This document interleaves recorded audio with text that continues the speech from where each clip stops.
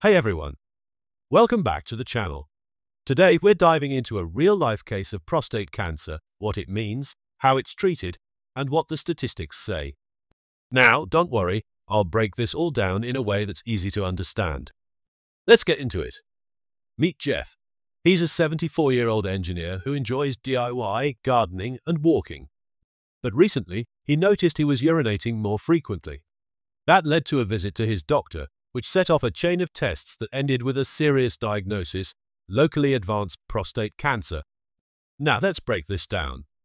Jeff has prostate adenocarcinoma, meaning cancer started in his prostate gland.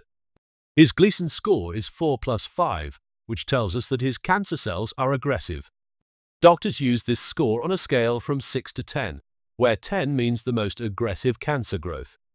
Unfortunately, Jeff's score of 9 means his cancer is growing quickly. Another key marker is PSA or prostate-specific antigen. Jeff's level is 17.7 nanogram per milliliter, significantly higher than normal. This suggests a high level of cancer activity. But here's the good news. His scans show no evidence of cancer spreading to his bones or lymph nodes. That's crucial because cancer that spreads becomes much harder to control. So, what's the plan? Jeff's doctors are taking an aggressive but proven approach.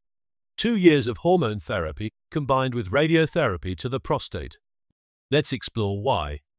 First, androgen deprivation therapy, ADT, also known as hormone therapy, blocks testosterone. Why? Because prostate cancer feeds on testosterone. Cutting off its fuel source slows the cancer's growth dramatically. Studies show that combining ADT with radiotherapy significantly improves survival rates. Next up is radiotherapy. Jeff will receive 60 gray over four weeks. This high-dose radiation is designed to destroy cancer cells while minimizing damage to healthy tissue. But even with this treatment, there's still a risk of recurrence. Now, let's talk statistics. According to the POP-RT Phase 3 clinical trial, about 75% of patients with locally advanced prostate cancer had their cancer under control five years after treatment.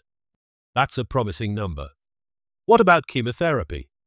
Jeff's doctors considered docetaxel a type of chemotherapy, but research from the Stampede trial found that for cases like his, where the cancer hasn't spread, chemotherapy didn't significantly improve survival rates. So they decided against it. Every treatment has side effects.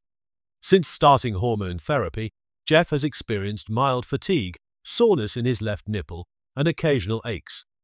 He might also face hot flashes, muscle loss, and changes in sexual function.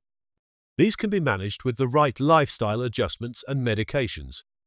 Radiotherapy also has side effects, including fatigue, bowel changes, and urinary symptoms, his doctors have recommended staying hydrated and maintaining a high fiber diet to help reduce discomfort. Here's the key takeaway. Early detection and a structured treatment plan can make a huge difference. While Jeff's cancer is aggressive, modern treatments give him a strong chance at long-term control. If you or someone you know is dealing with prostate cancer, remember, you're not alone. Regular checkups, PSA testing, and early intervention can save lives. If you found this video helpful, hit that like button, subscribe, and share it with someone who might need it. Stay informed and take care.